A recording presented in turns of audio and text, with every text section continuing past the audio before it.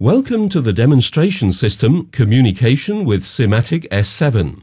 This module outlines the basic communication mechanisms of SIMATIC S7 and introduces you to their application with Step 7. In the introduction, we show you the basic communication options of SIMATIC S7. We then consider the configuration of the different communication types, the communication classes named I.O., data and system communication, as well as the convenient tool provided. Finally, we discuss the user interface of these communication classes.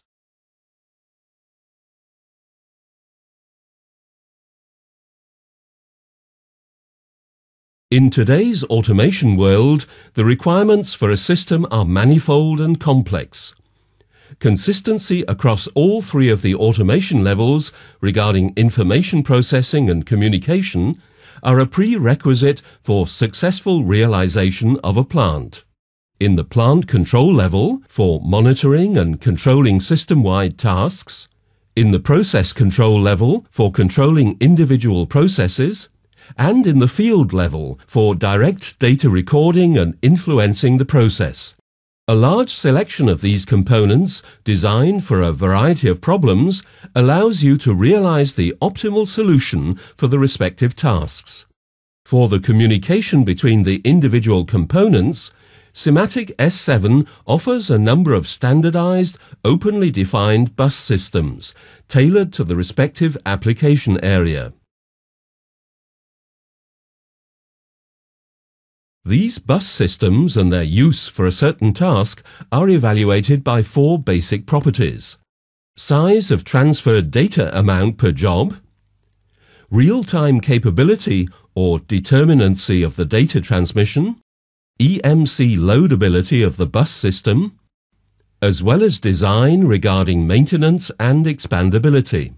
Industrial Ethernet is the standard in the LAN sector and is the technological base of the Internet. It is marked by its high transferable data amount. Originally designed for office environments, it shows a lower determinancy and EMC loadability. Profinet means Industrial Ethernet for process-oriented operation.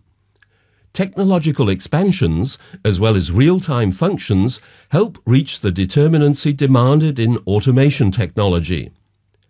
Using industrial components even enables application in field-related areas. The Profibus specified in the IEC standard is the worldwide most distributed field bus.